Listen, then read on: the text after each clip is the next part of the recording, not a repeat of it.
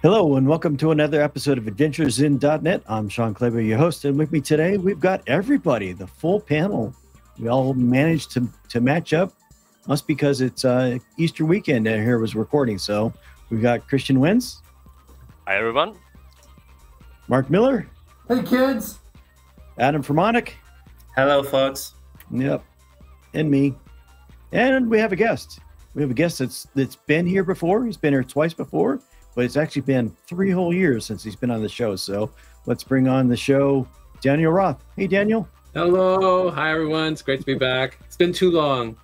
It has. I don't know why we waited so long because I love every one of your episodes and they're very popular. So we need to not wait three years for the next one. Sounds good to me. Let's do it. so, what have you been up to?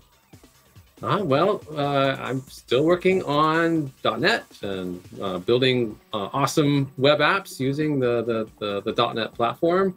Um, it's not too long ago, just back in November, that we shipped .NET 8 with a whole bunch of stuff for for Blazor. I'm, I'm still working on Blazor as our um, premier web UI framework for building web applications uh, with with .NET. It was a pretty big release for, for for Blazor, so that was a lot of work. I don't know if that had anything to do with me not coming on the podcast. Things were pretty busy, honestly, as we were trying to cram as many features into this release as we as we could to deliver the, you know, really a, the, the vision that we were trying to, to get to with .NET 8, which is having a single solution, a single way for you to build your your web UI part of your of your web applications.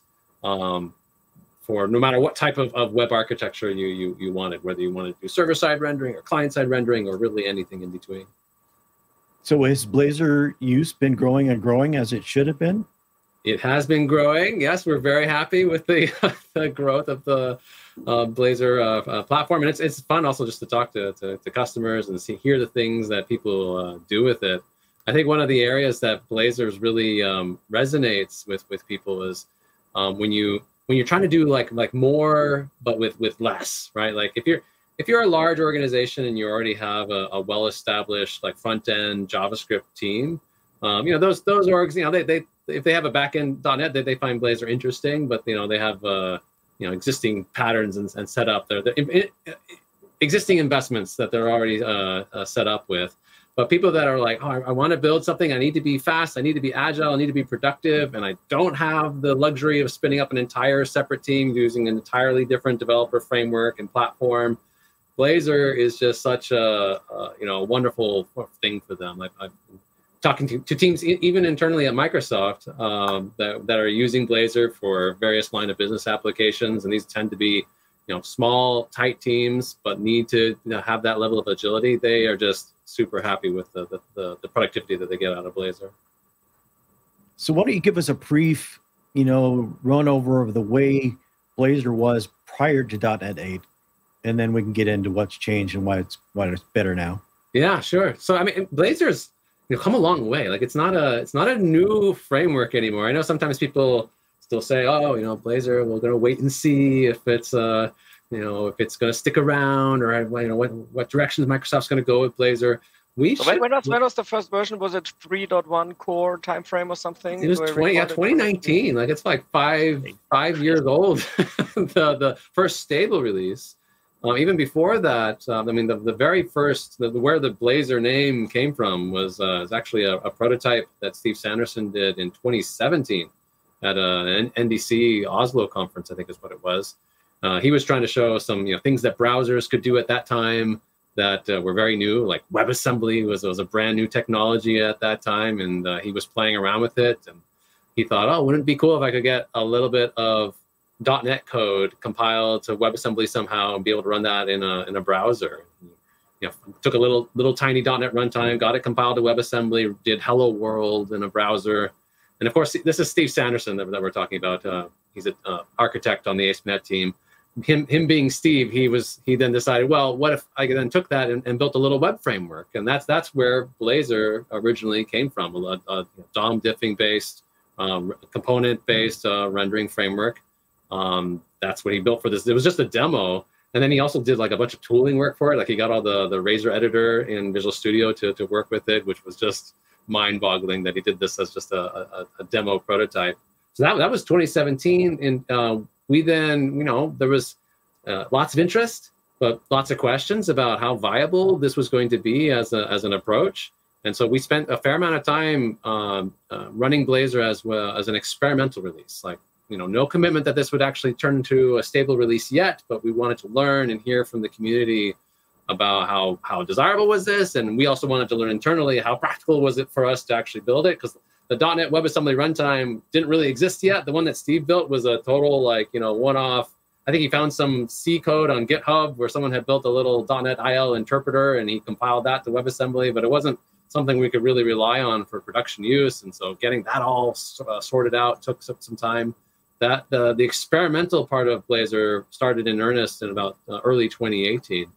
And then we shipped uh, uh, in 2019 with .NET Core 3.0, actually, like which was the first official Blazor release that had the Blazor component model in it as a you know supported part of the .NET platform. That's when we introduced Blazor Server, which is the interactive server rendering uh, notion. You're, you're, you're still trying to really mimic client-side rendering, like what you would do with client-side JavaScript, but we we did it remotely from the server over a real-time connection with the browser, over a WebSocket connection. And that was really kind of like ASP.NET Web Forms on steroids, right? Is that what you're kind saying? Or like I, I mean, ASP.NET uh, Web Forms was still a um, traditional, for the most Yeah. part, traditional server-side rendering part, right? framework. Yeah. You know, Yeah. I call it web forms done right. Yeah. they did have though this this one control called update panel, which I know a lot of people squint at Blazor server and kind of say that, that has some some similarities to the old update panel from from the web forms days.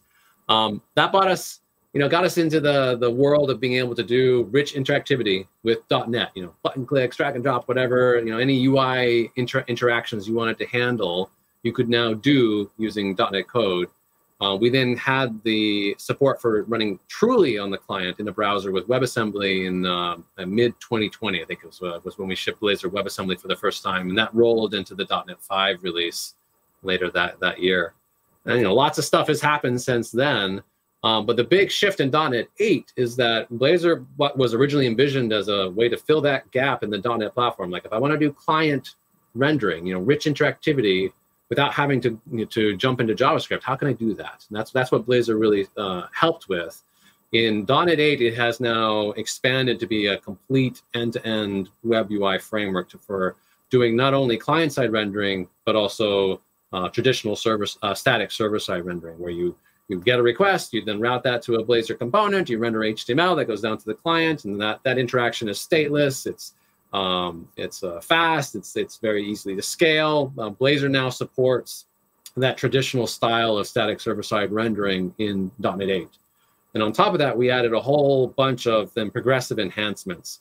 Like you can just start adding a little bit of, of client-side logic to improve the user experience, like um, uh, doing enhanced navigation. When, when you do a page navigation from one page to another, instead of that that being an entire um, it's, it's still a separate request, but instead of blowing away everything that's in the DOM and then re-establishing everything again, when a lot of it's you know going to be the same often when you're just navigating pages, enhanced navigation will do a, a fetch request to get the rendered HTML from the server, and then Blazor uses its you know you know fancy DOM diffing capabilities to then patch that into the DOM so that the the page navigation feels smoother. It feels it's it's faster. It feels less disrupted. It's, it's more like a single page app navigation uh, than what you would normally get from from traditional static server side rendering.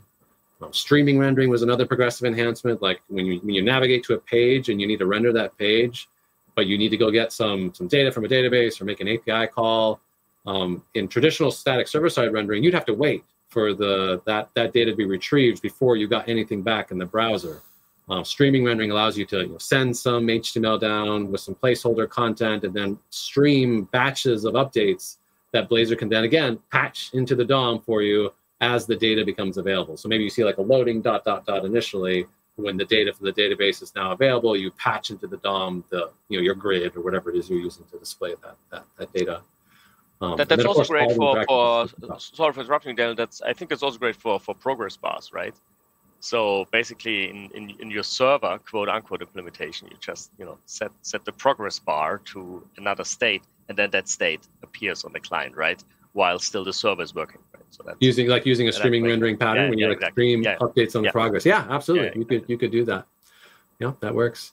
Um, and the, but the beautiful thing is, is that uh, in addition to just doing the, the, the you know old what's honestly a fairly old pattern, right? Like static server side rendering has been around forever, but web forms sort of did this, and older frameworks and web forms have been doing that for for a long time. But then you can, because it's all Blazor components, you can then add interactivity to that app wherever you need it. Like you could light up a single component on a page and say, you know what, this component needs to be interactive. And you can choose how you want it to be interactive. Do you want it to use the the in- interactive server model, the Blazor server model, where it's going to be handled from the server over a WebSocket connection? Uh, that's super convenient. Or, or if you want to actually push that interactivity to the client, you can flag that component and say, you know what, you need to, to run client side on, on WebAssembly. You can do that on a comp- per component uh, granularity, on a per page granularity, or for the whole app, which would get you to something that's very uh, similar to what you had with like Blazor WebAssembly or, or Blazor Server. So, which features that are coming to Blazor you're most excited about? So that well, I mean, that was all .NET 8. So that's that's that's there, and I'm excited about all of that. that's the full stack web UI support that we shipped with with .NET 8, and you can use it today. Uh, it's in a long-term support release, so it will be uh, supported for three plus uh, three plus years, which is great. Um, of course, now we're in a new year. Uh, we're already uh, looking at the what's what's next for Blazor. Looking forward to the the .NET 9 release, which is the the next release of the .NET platform. That uh, if you're familiar with our release cadence, is expected to ship in uh, November of uh, of this year of, of 2024.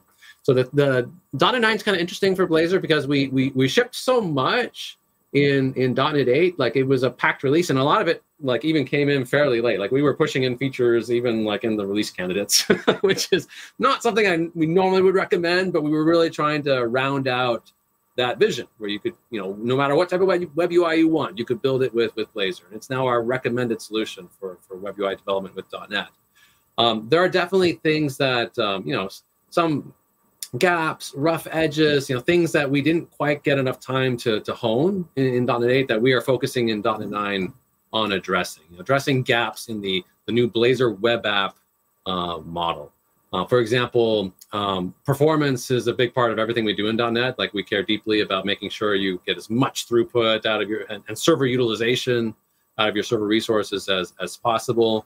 Um, we didn't really get enough time in .NET 8 to do all the performance optimization on the new static server-side rendering support in Blazor that uh, that we want to do. Like it's still it's still very fast. Like it still be- benefits from all the uh, performance characteristics of the .NET platform, but we know we can can do more. Um, there's a bit of a gap right now in Blazor static server-side rendering and like traditional MVC or Razor page based based rendering. Um, and so we want to close that gap and make it, you know, uh, as as uh, as close as we can to the uh, the old models. The old models are will always be a little bit faster than Blazor static server side rendering because they they don't do quite as much. Like they're um, like an MVC view is a you know stream based model just spewing HTML directly out, whereas Blazor has the the component model in in play. So there's a little bit of overhead with um, the that comes with getting all the nice features that comes with Blazor's component model, but it, sh- it shouldn't be big. And right now it's a little too big for, for our liking. So we're going to uh, do a bunch of performance work to, to, to optimize that. Um, we're going to do a bunch of things to just make sure that all the Blazor web app features work smoothly and flawlessly together. Um, we right now have a good model for going from static server-side rendering to interactivity. Like if you start with a static page and you want to add some inter- interactivity in it, that works great. We've got a, got a, good pattern for doing that using the new Blazor render modes. Um, we don't have a good way of going the the other direction. Like if you take your app and say, you know what, I want everything in this app to be interactive, like an old school Blazor server app, but except for this page, this one page here, I would like that one to be static because it doesn't really need the interactivity. We don't have a good way of doing that. There, there's there's ways to do it, but they're kind of you know clunky. Um, so we want to make that a more first class notion in, in .NET 9 uh, both for um, you know rendering pages and also when doing like form handling. Like we introduced full traditional form handling in in, in Blazor in, in .NET 8. Um, if you want to uh, have the form be interactive, but you want the submit to to be handled using a normal form submit, we don't have a way to, to make that shift from interactivity to um, to, to static style uh, web app development. So we're going to add that in .NET 9. Um, I know a lot of people who are building components would like to be able to inspect at runtime what the current render mode is. Like, is this component rendering statically, or is it rendering Blazor server style, or is it on WebAssembly? I would like to know, and you can kind of work it out with some, I don't know, say hacks, but like by you know, piecing it together from from various APIs. But we're, we think that we can do better and give you a first class API for deducing those things, so you can build components that do things like uh, light up functionality based off of their current render mode. Like maybe if you're rendering statically, you want to render certain DOM elements uh, but when you're doing it interactively, you actually want to change that up because you can do more. You can make things more richly interactive. Like having that ability to to to, to code that logic into your components. That's something we're also uh, we're looking to do in, in the .NET 9 timeframe. Um, so you know, a bunch of things in that that bucket of like you know little gaps, little rough edges in the Blazor web app model. We want to smooth that all out, make sure it works really nice and cleanly. Like in general, I would say for .NET 9, our focus is on fundamentals and, and quality and less less transformative. Like .NET 8 was a very transformative release. You know, we moved, uh, shuffled things around quite a bit, and people are still, I think, working through that. Okay, how do I how do I move my app forward? How do I migrate from the old .NET 8 patterns to the new .NET 9 patterns? The idea of .NET 9 is we're not we're not going to be moving your cheese nearly as much. We're instead we're going to take the things that we've already shipped and try to just make them better, faster, uh, stronger. So high level, that's that's a, that's a good way to think about what we're doing in the .NET 9 timeframe. Doesn't mean we're not doing new features too. We have a bunch of new features as well, but uh, it's more about quality and fundamentals this time. I, I got a quick question or or terminology clarification. So when you when you say interactivity with Blazor, especially to those who don't work with Blazor, you essentially mean client events plus yes. streaming yeah. rendering. Is that is that kind of a, a sound definition of, of the term? Exactly, um, exactly so, what. So as soon as you have one of those two features or one of these two aspects in your app, then that that's the that's the uh, interactivity setting in the in the .NET CLI or in the Visual Studio uh, uh, create new Blazor web app wizard. That's that's basically the thing. Yeah, yeah. yeah. You, you, you mentioned an interesting point with the um, what what what what do you do with uh, with old applications, right? Um, so let let's imagine you started with .NET 6 or even earlier .NET .NET 3.0 uh, with Blazor Server, right? And you have a great running Blazor Server app, and then maybe you know you change the program CS style between .NET 5 and .NET 6, right? So you thought you, you thought, okay, now now you're on on safe ground, right? And now you see the new template. There is no Blazor Server template. No, no, no dedicated Blazor Server template with that in the name. So what should you do? So should you just leave it as it is? I mean, it's still working, right? Yeah, so we, I mean, obviously, we care deeply about back compat in the .NET platform. You should be able to. We we, we want to make sure you can move your app forward from version to version, and things should just continue to work. So existing Blazor server apps and Blazor WebAssembly apps, you can just change the target framework to .NET 8. You can up- update your packages to the .NET 8 versions, and that should just work. That is still fully supported. It's not that the Blazor server or Blazor WebAssembly models have gone away. They, they are both still there, and you can run those those that style of app on .NET 8 in a fully supported mode. So that's the easiest way to upgrade your app is just leave it as it is and uh, update the, to, to .NET 8. No, no, no problem.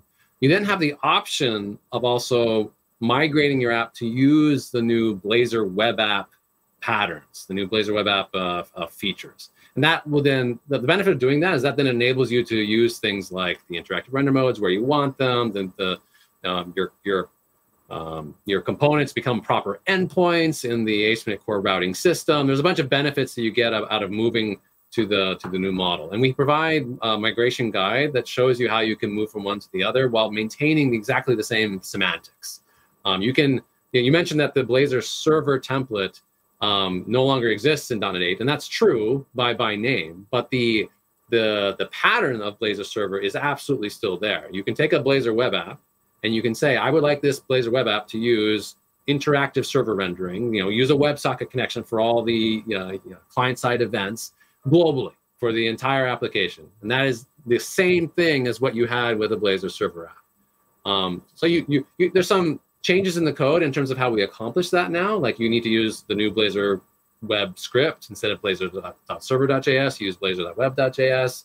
Um, you no longer need to have Razor pages or CSHTML in the picture to accomplish this. We, we because we can now statically render components from from the server. The root rendering of the app can now just be a, a, a dot razor file, like a component file. So we use app.razor instead of you know, what was it like underscore host.cshtml or whatever it was in the in the old template. So you can move from one to to the to the other. There's a set of me- fairly mechanical changes that you make to for particularly for Blazor Blazor server applications. Similar deal for Blazor WebAssembly apps, particularly the ASP.NET Core hosted Blazor WebAssembly app. That was a uh, you know uh, Blazor code that would be run, pushed client side and run in the browser. But the thing that hosted those files server side was an ASP.NET Core process. So it was ASP.NET Core hosted. Um, you can have that same pattern with a Blazor web app. Um, there's a couple of different changes that you need to, to make in your existing ASP.NET Core hosted Blazor WebAssembly app to, to, to, to use the new patterns, but you can uh, do it as well. The, the one of the big changes that I think people often get tripped up on uh, in that world is that we started in .NET 8 um, pre-rendering uh, Blazor WebAssembly apps by default. Um, and what is pre-rendering? Pre-rendering is where when you make the initial request, you know, most of the with a Blazor WebAssembly app, most of the code is going to run client side on the browser. That's where all the rendering is going to happen. That's where all the UI events are going to be dealt with. Uh, but with that initial request, well, we could just go ahead and render the components up front, like give you a batch of HTML so you can get pixels on the screen immediately. Um, with Blazor Server, that was a no-brainer. Might as well do that. Your, your, your components are going to run from the server regardless. With Blazor WebAssembly, we didn't used to do it because it adds some complexity. Like uh, that means your components are now going to run on both sides of the network. They'll run on the server and on the client, and you have to think about that when you're building your app. Like you actually need might need different services injected depending on where your components are running. Like if that component needs some data, well, on the server, it can get it directly from the database. From the client, it might need to do an API call. You know, these types of concerns. So when you're migrating, uh, you many people didn't do pre-rendering previously, so they um, you might our guidance is generally to, to turn off pre-rendering when you're when you're moving to the Blazor web app model. Um, if you're if you're moving a, a Blazor WebAssembly based app, because your components probably weren't set up for that. If your components were, then you're great. Then it's actually just enabled for you, and you the work that you used to have to do manually to set up pre-rendering, you no longer have to do. That's that's one of the, the common gotchas with migration. But otherwise, the, the steps are fairly straightforward, and we have uh, detailed docs that walk you through how to do this in the uh, ASP.NET Core migration doc set. Were there any other changes to the template that are maybe a bit more subtle and not related to the to the new model? Like I don't know how navigation is done or uh, different different colors. Okay, that's a stupid example, but, but but you know where I'm getting right. So so were, were there any other things that are that are noteworthy? Um, so na- navigation definitely is different. Like by default, if you just create a Blazor web app, um, we by default turn on interactivity just for the counter page, which is this you know page that has a button. You click on it and the count goes up. It's showing you know, how you can handle a button click event. The other two pages that are in the sample code for a Blazor web app, the, the home page, and there's like a weather forecast page that shows a table of weather forecast data. Um, previously, bo- all those pages would have been uh, interactive and they would be uh, handled using client-side routing, where Blazor's intercepting the browser navigations and then, you know, doing uh, manipulating the DOM directly. In the by default in the new template, we're using normal ASP.NET Core routing. You you send a request to the home page, it gets sent to the server. There's an endpoint there. It renders the home page. You get HTML content back. Then if you browse to the weather page, that's another endpoint. It makes another HTTP request to the weather page. It gets the weather data back.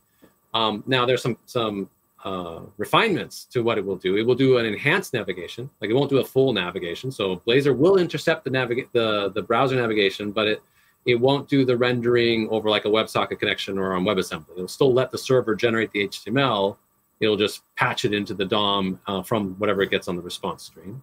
The weather page also is is um, different in a significant way in that it's using streaming rendering to generate the weather table.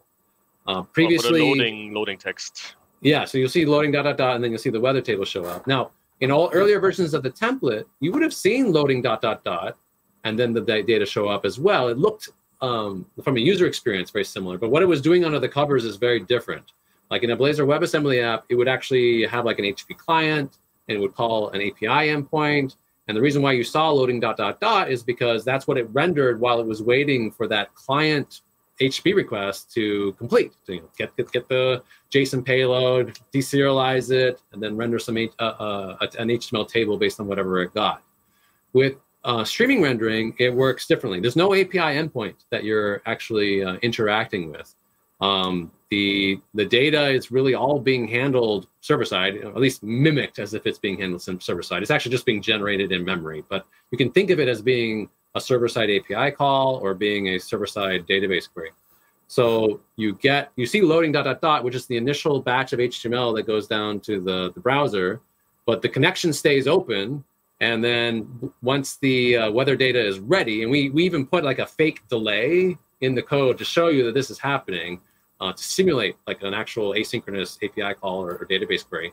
Then a little bit later, you get the component renders again with the with the actual weather data, and that gets patched into the, the DOM. So I, I, think a bunch of people have been uh, thrown off a little bit by that because they're like, wait a minute, how do I do the API call thing now? And and in this case, the answer is actually, well, you don't really need to. Like the server can just handle that for you by doing uh, streaming rendering, and then you don't have to mess around with having an API endpoint that you have to you know, design and secure and all those those those those concerns.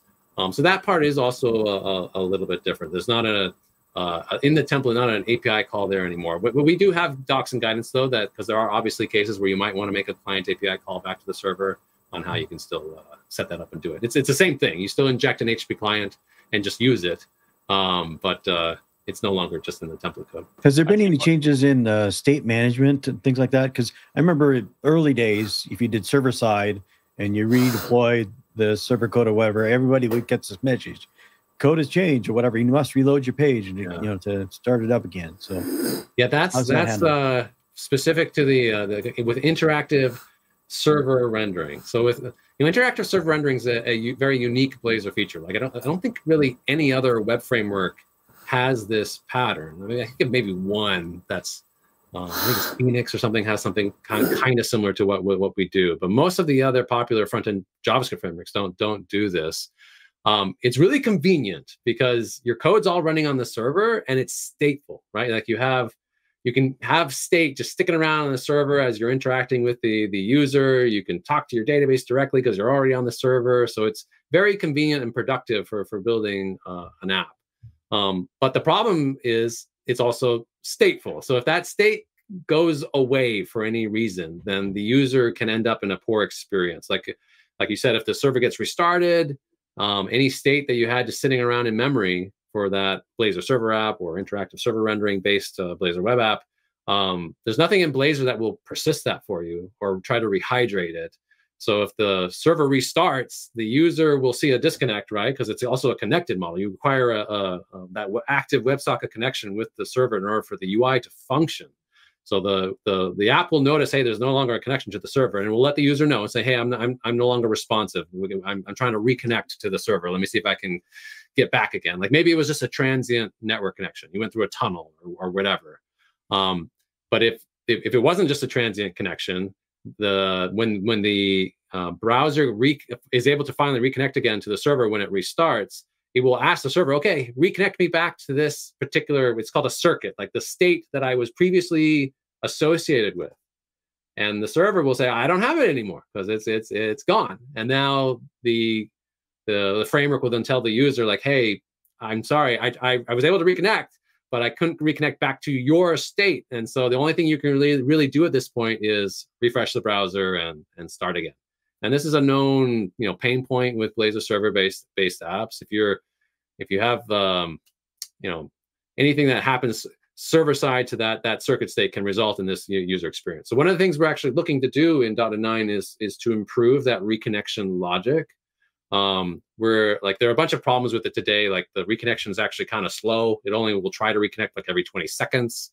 So the user, even if the the servers come back up pretty quick, the user might sit there in that broken state for up to 20 seconds. That's not great. So we're going to reduce that. And who down. came up with the eight retries? I mean, mm-hmm. these are these are so odd. Well, even but still, you know, weird, weird numbers. Right? Twenty remember. seconds I get, but we try one out of eight, two out of eight. I, I I'm always confused. Always yeah, confused. you know, default values are a funny thing, right? sometimes they're a bit like uh, throwing darts at a dartboard. Our best guess, and uh, sometimes there's more principles that go go behind them. Um, you know, and this I think this is the case where we shipped it. We shipped the reconnection experience that we currently have, and we have been learning from user feedback that there are there are cases where it's problematic. I mean, of course, you can configure all these things. Like you can configure what the the retry duration is. You can retry, configure how many times it retries. Um, there's also uh, how long the server will hold on to the circuit state when uh, when the client connection is lost. Um, like one one thing that often happens is like people will put a browser tab into the background, like uh, like swipe the browser away on your phone, for example. And on most platforms, that will actually close the WebSocket connection. Okay, so the server sees the connection is gone, and then it's like, well, I've got this circuit state here. Should I hold on to it? By default, Blazor server will. It will it will hold on to it for a period of time. I think it's fairly short, like three minutes. But you don't generally want to hold on to it forever because then that becomes a potential, you know, DOS vector where people just keep creating connections and closing them, and now you've got all these circuits that are sticking around. You, you need to clean them up. Um, so if the user has swiped away for longer than three minutes and then comes back to the app, they might have that situation again where they connect to the server, try to get back to their circuit, and the circuit's no longer there. The server didn't restart; it just decided to get rid of the circuit because you you you went away for for for too long. Um, so we're going to try and improve this the this this set of reconnection experiences. The the the UI that we actually show is is not particularly great, and we're going to try and refine that, make it a little bit nicer. We're going to shorten the reconnection period. Um, we'll start auto refreshing the browser for you, so you don't have, like you can write that code today where it just automatically does the browser refresh for the user instead of just showing the user an error. Um, we're going to start just doing that by default because that's pretty much what everyone wants anyway. And we're also going to try um, and do some client state persistence. Like if the user was in the middle of a form and typed a bunch of stuff, we'll try to at least save that and re reestablish it again in, into the form so that it's not lost. The one piece that we're not doing in .NET 9, which I'm, you know, a little sad about that I really want to get to is is helping facilitate saving the server state. Like if you were, if you had clicked the counter a bunch of times, let's say, and the count says, you know, 32 or whatever, and you're really proud that you clicked the counter 32 times, but then you swipe away and then come back and the circuit is gone, um, nothing will save the fact that the counter had 32 clicks on it. Um, you can write application code to, to do that. And we have some samples that show you some patterns that you can write in your app to you know, persist state at particular moments and then rehydrate it again when the, the uh, a new circuit gets created. Um, but it's a bit tedious and there's some timing issues. Like we don't have all the right events that we really need, the APIs, in order to hook in and, and actually be able to persist state at all the appropriate moments. Um, that work is still pending and it's not going to make it in for, for, for .NET 9. We think it's probably going to be, you know, again, dot, uh, .NET uh, post .NET 9. I'm not going to commit to a particular release, but uh, that's the one part that I think people will still have to, to deal with in their own code is like persisting server side state. So maybe like the old ASP.NET, you know, store state and SQL Server or some other, you know, server for the state versus the application server code is on one and states on another. Yes, it's it's a similar like like session state type of. If you want to have state that survives across um, requests in old, you know, traditional static server side rendering based applications, you needed a store to put that thing in, or you put in the cookie, right? You need some place to put it so that you can hang on to it. Um, it is similar and, analogous in, in, in nature. It's not it's not quite the same problem, but it has uh, similar characteristics. So, so are you looking in uh, server-side storage, or are you maybe also leveraging, I don't know, local storage? I mean, especially when using the server interactive mode, you can have the protected local storage. So, there there might be a way, but of course, that only works so far as long yeah. as uh, you're, you're using that model, right? there's, no, there's it, it's a bit better than ViewState. It's a, a cross-site scripting aware ViewState. That's um, yeah. We're definitely not going to. Uh, we're not going to try and like persist everything about this the state of the components for you. Like, there's not going to be a. Yeah. View state was kind of magical, right? Like, if, like web forms would try to just do this, like save everything, let's save everything, and then you would get into cases where people put too much stuff in there and it get enormous and it cause problems. The plan is that it will still be uh, an explicit developer decision how much you want to save. Um, we're just going to give you the API so that you can do that. Um, exactly where you store it, you know, like Redis or a database. Like there's lots of options there, and there's always been like a like a plug-in type of model where you you you you tell us where you want us to save things, and we maybe have some uh, recommended places that are more convenient that you can just just use. Um, whether you can store things on the client, like you you know put service move the service state to the client. I, I, as you mentioned, there's there's there's limitations for for when you'd actually be able to do that. Are there any changes that are specific to affecting like Blazor hybrid or Blazor desktop, whatever you want to call it? So yeah, uh, so um, the I mean the main thing for Blazor Hybrid that we're going to do is try and uh, give you a a template so that if you want to build for web, mobile, and desktop, that you don't have to piece that together manually. Like this is one of the beautiful things about Blazor Hybrid. Blazor Hybrid is a for people that don't know that's that's a way you can take your existing Blazor components, the same ones you would use in your web app, and you can embed them into a native client app and render them to like a local web view control and use them as the UI layer for a native application, native desktop, native mobile. Uh, we have Blazor Hybrid support for .NET MAUI, so all the platforms that .NET MAUI supports. Uh, we also have uh, Blazor Hybrid support for WPF and uh, and WinForms, so you can build you know native Windows desktop apps using uh, this this pattern. Um, and so you can today set it up yourself. You can create a, a Blazor web app, and you can create a Blazor Hybrid app, and then have like a common shared library of components that you use for both of them, so that you have one set of components for your UI, and you can then multi-target all the platforms that are that are interesting. Um, but it's very manual. Uh, in and 9, we're going to try and give you a, a pre-canned template that will just do set that all up for you. There's some particular complexities that got introduced also with the with the render modes in Blazor web apps that uh, that we're also going to address. Um, if you have a component right now that um, uh, has been attributed to say, I, I need to run on WebAssembly. And then you try to use that component in Blazor Hybrid. Well, Blazor Hybrid will say, this component says it needs to run on WebAssembly, and I'm not running it on WebAssembly, so it will throw.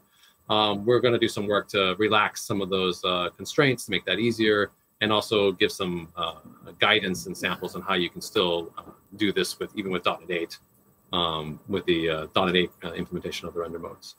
So that's the big thing there. There's I know there's also just general uh, investment happening for like desktop scenarios in .NET MAUI, uh, improvements to the the WebView controls like WebView 2, and I know there's some issues with like drag and drop today with Blazor Hybrid and in, and MAUI on Windows because of some issues with the WebView 2 control that the, the WinUI team is working on.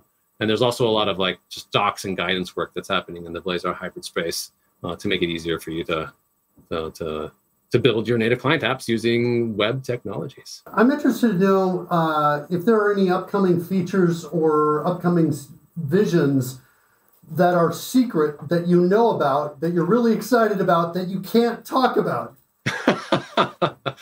um, you know, mo- I think everything that I would, if I were to list all the things I'm excited about, they're all, I think they're all public, and most of I think they're all open source that the, that I'm aware of. So like like .NET Aspire and the cloud native work that that's happening, like that's super cool. Like being able to build uh, orchestrated, containerized cloud native apps using .NET in just a really easy way. Um, a lot of the work around AI, of course, is like super hot and amazing. Um, we just shipped a bunch of samples how to do uh, use the you know the OpenAI services with with .NET. Um, and, and, actually, even more recently, we um, we just provided a set of experimental uh, Blazor and uh, uh, uh controls, like UI controls for doing AI things at the UI layer, like doing smart paste and smart uh, text areas and smart combo boxes. These are um, controls and components that that allow you to add AI powered functionality to your app without having to know like everything about large language models and RAG and prompt engineering and all the, all this stuff, which is you know fun and interesting. But if you're just trying to get the job done, uh, can be a bit overwhelming. Uh, we now have a bunch of controls you can just drop into an existing app and get some pretty uh, pretty amazing functionality. Like the the smart paste.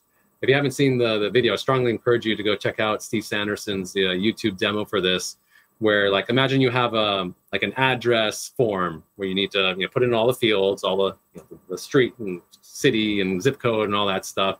And you're trying to put that in based off of some text that someone sent you in an email. So smart paste will allow you to just like you copy the, the text and you just click a smart paste button. And then we use the openai services to correctly parse the text that you gave us and put the right data in each of the right fields semantically um, another cool demo he shows that's similar is like imagine you're trying to submit a, a, bug report and you got the bug report in an email from like one of your users and it's all in text.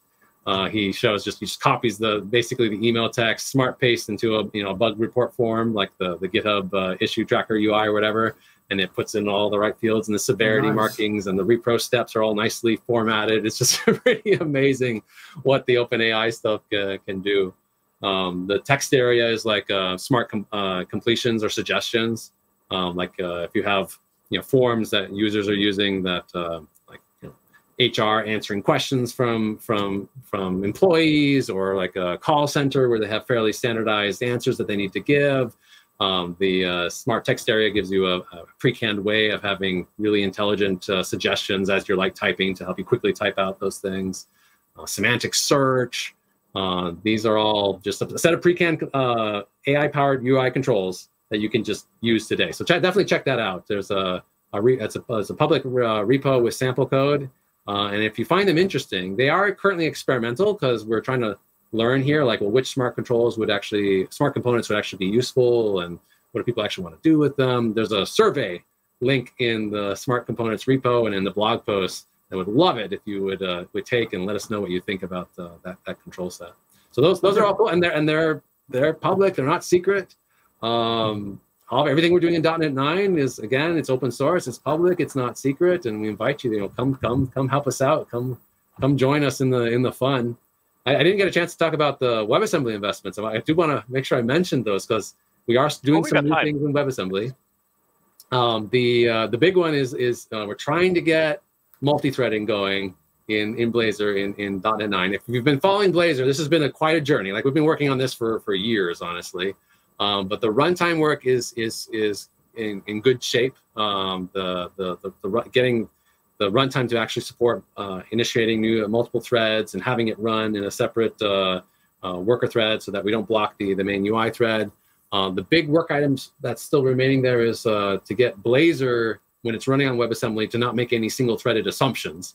Um, that's a big chunk of work. So I, I, don't know that we'll actually land it as a um, as a stable supported feature in .NET 9, but I'm hoping it'll at least be available for you to to use and and and and, and, and try out. We've had it available for at the lower level, like where you could write some like very low level .NET code and use multi-threading. We've never gotten it fully functioning in the Blazor environment yet. That's where we're trying to get to in the, the .NET 9 timeframe. Yeah, my take on it is that uh, Daniel's hiding secrets behind things he's really excited about. That's what I think. He's excited about other stuff. He just hasn't told you yet. Uh, you know, I, I to be completely transparent and honest, like I, I work primarily in the public open source sphere. So um, you know, almost everything that I work on is is, is yeah. not not secret. I'm happy and happy to talk about it. Like it's no, it's I think seriously, I, I think it speaks to the cadence, doesn't it? I think it really speaks to the cadence at which things are coming out and the manner in which they're coming out, the open source and, manner, and the development philosophy. Like like uh, pretty much everything I, I, I do, we, the code is available for you to look at, to inspect, to uh, to clone and build yourself, uh, to do con- contributions to. Like it's a very community centric way of doing software development, and that's that's a key part of what we do in the the, the .NET world. Like .NET is an open source, community driven uh, platform, so yeah, there shouldn't be any secrets. Like that. you know, .NET platform is uh, is owned by in some sense by by all of us. So can I can I ask a specific uh, planning question maybe? Uh, so uh, in, in, in .NET 8, one of the uh, new features for Blazor was in terms of authentication with the updates to the template using uh, using ASP.NET ident- core identity, and I think also the new identity API endpoints, right? Slash register slash login. Now I remember that those new endpoints they were marked as experimental when .NET 8 came out. So like might be subject to change. So what's coming in .NET 9? Will that stay the same? Will will Blazor change something in terms of authentication? What's what are the plans there? And I mean, uh, uh, .NET 9 is uh, uh, seven and a half months probably away, right? So um, yeah, probably also a matter of time. So in .NET 8, there was a ton of work that went into improving the authentication story with ASP.NET Core. Um, we moved away from we moved more to like a backend for front end pattern for a lot of our authentication flows. Uh, previously, we were using uh, more like token acquisition and OIDC directly from different clients in order to handle that. Um, we ended up moving a, a, away from that from that for various reasons. Much much uh, better, uh, yes. So that that's that's all still in place, and then will continue to to exist. We also introduced the um, Blazor identity components. Uh, previously, when you were using ASP.NET Core Identity for handle authentication within your own app, uh, we gave you like a default UI for doing login and logout and external logins and uh, two-factor auth and all those types of things. And it was all built with Razor Pages. Uh, and if you were a Blazor user, this this caused some some friction. Like uh, people didn't like the fact that they were having to mix these two different UI frameworks in the same app. Uh, so in .NET uh, in .NET 8, we introduced a set of Blazor components that, as part of the templates that implement the same UI functionality in Visual Studio, there's actually now a, um, a, a, scaffolder, a new Blazor Identity scaffolder that we've introduced that you can use to add the Blazor Identity components to an existing uh, ASP.NET Core app or Blazor app to get the, those components in, uh, included in your app without having to do file new project. So that's that's also there. Um, I know we also have uh, work. There's work still in progress on our um, Microsoft Entra support.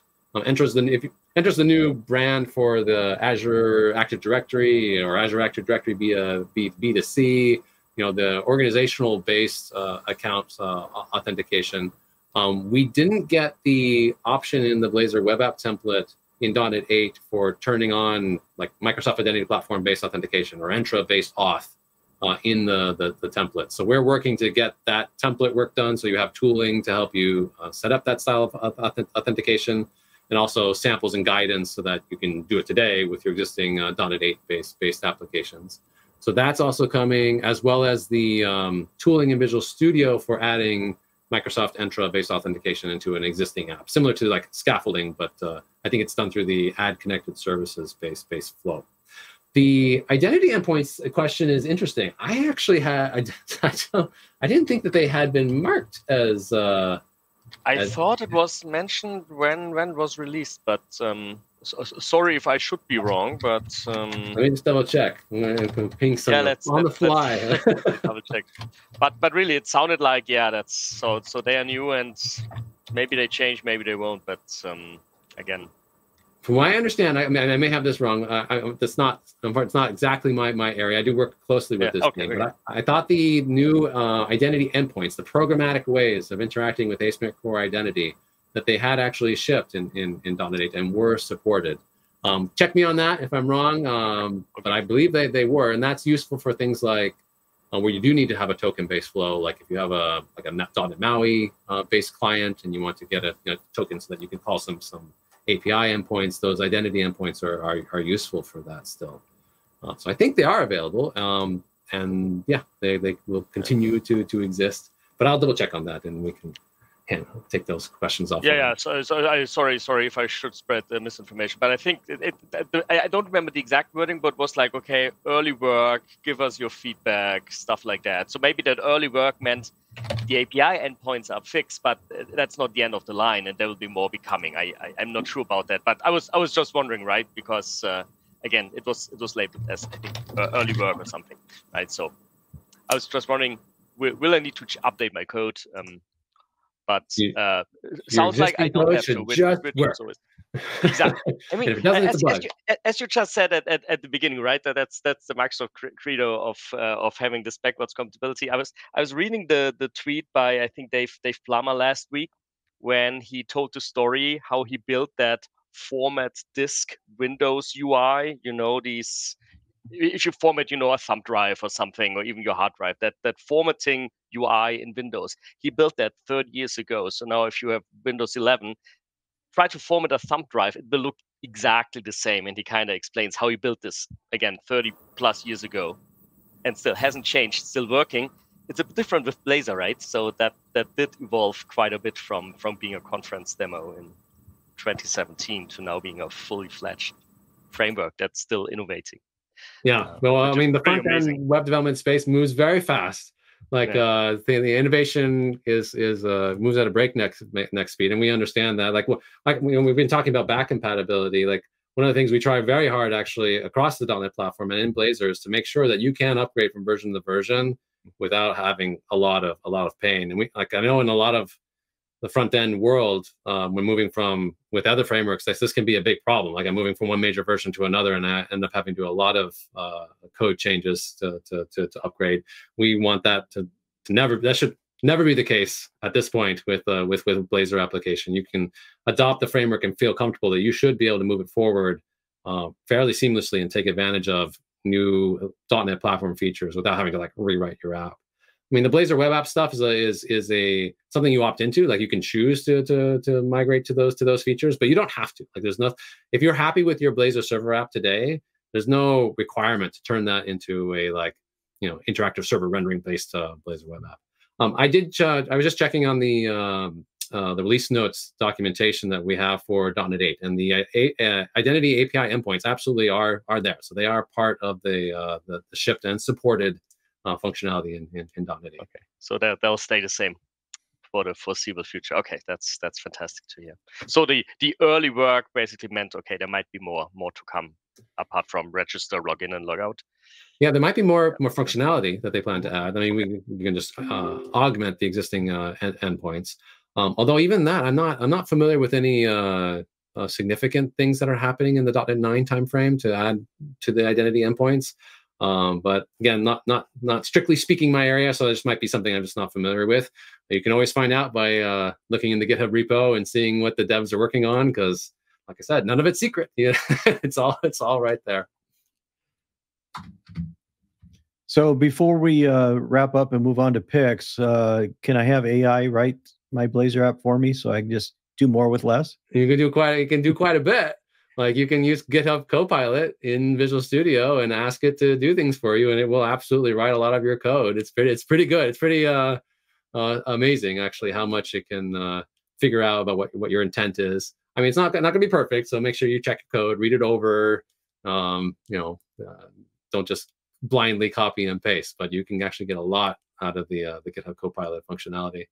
Um, have, have you ever, I know David Fowler's done some really fun uh, demos where he shows like David David Fowler's an architect on the .NET team, and he is a very active proponent of using GitHub Copilot, and he uses it uh, uh, tons in his own development efforts, working on .NET Aspire and working on the the, the, the framework.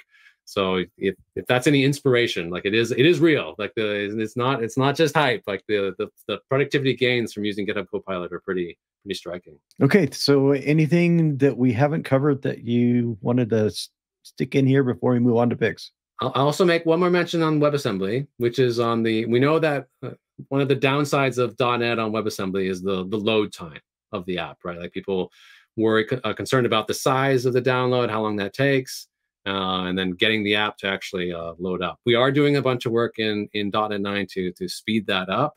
Um, it's not so much uh, in the past we've we've focused on reducing the size, like how much how small can we shrink this thing? You know, we use co- compression and trimming and all these tricks to try and get the .NET runtime and the core .NET libraries as, as small as possible. Um, in .NET 8, we did some actually some some uh, cool trickery where we uh, we could try to hide the download time of the Blazor WebAssembly app by using this auto render mode, where you you start an interactive component using the the interactive server model, which is you know just requires a WebSocket connection, while you sneak down the Blazor WebAssembly runtime in the background, and then on subsequent renders, when the when the uh, WebAssembly runtime is available, then you, it switches over to use uh, true client-side rendering. So you get the fast, fast initial load, um, while also uh, uh, being able to move the the the, the, you know the burden of operating that code to to the client. Um, in .NET 9, we're going to do some optimizations around how those files get retrieved, like how the static web assets get get handled. Um, today, there's kind of a cascade of requests that that happen as part of loading up that Blazor WebAssembly app. Um, we're going to be doing things at build time to uh, optimize how that load happens so we can add like link tags and start using pre preloading techniques so that those requests can all just sort of happen in, in, in parallel. Um, we're going to do more with uh, pre-compression. Uh, pre-compression has a build time optimization we do where we take your web assets and run Brotli compression on them really aggressively so that they're already compressed and ready to go once your app is deployed. That feature right now is limited to you know some Blazor WebAssembly specific files in .NET 9 that will expand to more of the assets that are being downloaded. Like you can pre-compress your JavaScript files, your CSS files, and so forth, and get that added benefit. Um, we're doing some you know more modern bundling techniques with our own um, Blazor framework files like Blazor.web.js, like making that file smaller. Um, just optimizing how the static web assets come down, and then also the once you have everything downloaded, it getting the .NET runtime started actually is takes a little bit of time, like getting it uh, running. Like you know, you say WebAssembly code start start running. Like from there to when you actually have your .NET code executing fully and handling events has a little bit of delay. Um, we're working to reduce that startup time uh, even further, both the, the Blazor initialization code and also the startup time of the, the .NET runtime itself. So the idea is that hopefully the, the total time from you know when you hit the page, get all the files downloaded, get them cached, get the runtime up and up and going, that that lo- total load time will be as, as fast as possible. So a bunch of work happening in the uh, in the load time optimization space as well. Could it throw the runtime into local storage so it only has to get it the first time, or if there's any changes? We so we already do that. We don't we don't put it in local. We put it in the uh, the cache. We use the caching APIs to, to store those files locally. And um, um, in fact, one of the optimizations that that we'll, we're going to do in .NET 9 is we're going to start fingerprinting every single static asset so that it has a unique hash that's that's generated from its content in the file name. And then we'll use um, uh, other browser caching techniques in .NET 9 to tell the browser like, hey, you've got this once, don't ever download it again.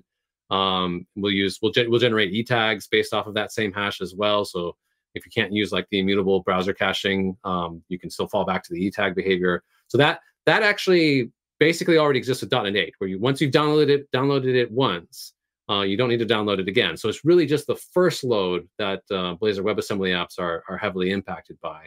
But even that first load we care about, so that's that's why we're doing all these other optimizations in .NET 9. Got it. Cool. Yeah, and I think local storage wouldn't work because there are size limitations, and it's a string API essentially, right? So that wouldn't be as efficient as um, the, the built-in browser caching. Yeah. Excellent. Okay. That said, let's uh, go ahead and move on to picks. Uh, Christian, do you want to go first? Sure. Well, since we were talking about um, Microsoft SPA frameworks, I thought I would talk about the previous Microsoft SPA framework. So, what was uh, Daniel? What would you say was what's the predecessor of uh, Blazor? The biggest inspiration from Blazor, I would say, does come from React. Like if you look at Blazor and Squint, ah, okay. it looks very React-like in its methodology.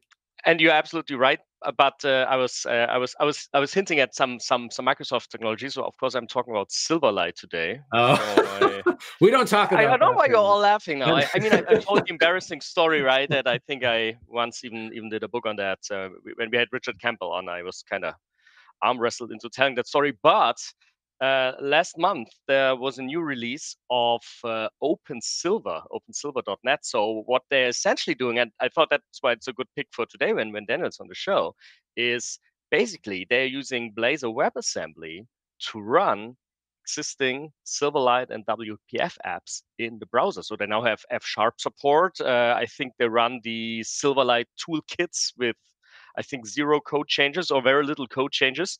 Uh, so actually, a, a, customer of mine who was, was stuck with with an old uh, app, they they have been using that to kind of don't want to say save their project, but uh, essentially they, they were able to to reuse their their existing uh, their existing code, and um, so uh, I found that pretty amazing. Also, that this this project is, is still active and well, again had a release in uh, early February. So that's my pick. Christian, I have to I have to tell you the little, little background there. So yeah, please do. You know, one one of the funny things, like we we get asked a lot about like you know is Blazor going to be the next Silverlight? Like, are you going to is like a Silverlight? You know, had an unfortunate and end of life, and then people get nervous because of the the similarities they see there. Um, the same the the .NET WebAssembly runtime that we build for Blazor mm-hmm. is the same .NET WebAssembly runtime that OpenSilver uses to create a Silverlight experience in, in the browser. So in some sense, Blazor is responsible for resurrecting Silverlight again through the. So you're growing your own competition. Is that? I mean, we can't reclaim credit for. It. Obviously, the, the, the maintainer of that project, he does amazing. They, the, that team does amazing work, and they've done a phenomenal job helping uh, existing Silverlight customers. But uh, yeah, under the covers, under the hoods, it's Blazor. Okay, uh, I think I'll go next this time. So my pick this week is called Rachio. It's a smart uh, sprinkler controller for your your your lawn, and if you got an automated sprinkler system, and the old ones were just set on timers, just on off on off whatever days you want. And about eight to ten years ago, I bought this Rachio, ratio, whatever you want to call it, smart controller. And just a couple weeks ago, they sent me an email that says, "Hey, your controller is really old. Why don't you take 50% off a new controller?" I said, "Sure." So since my green uh, grass is starting to grow and it's springtime and things like that, so I went for that, and I really like it because you know you can. It's smart. It knows the weather. It knows humidity, temperature, wind, all that kind of stuff. That takes it into account of when to run your sprinklers and when to not. You tell it the slope for this zone. You tell it the type of soil for this zone, and it just does all the AI generated controlling of your sprinkler heads. And so saved you a lot of water and, and some money there. So try it out. All right, Mark, you will know what's your pick?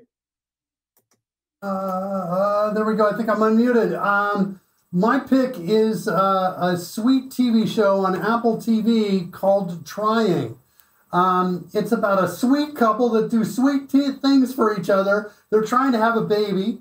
Uh, and by the way, kids, if you like sobbing like a baby, this is the show for you. If you've got someone like a partner in your family, somebody who likes to sob when people do sweet things, this is the show. I'll often walk in on my wife and she's crying, just crying uncontrollably, and I know what she's doing. She's watching this show. Um, it's actually really, really sweet, great, uh, uh, a great vision uh, from the creator behind it.